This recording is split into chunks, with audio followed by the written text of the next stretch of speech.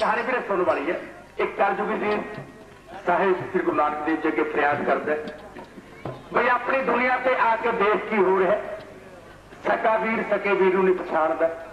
ਚੌਦੇ ਰਾਸ਼ਟਰ ਬਲੀ ਕੰਧਾਰੀਆਂ ਵਰਗੇ ਸਦਨੇ ਕਿਸਾਈਆਂ ਵਰਗੇ ਫੇਰ ਪੈਦਾ ਹੋ ਚੁੱਕੇ ਨੇ।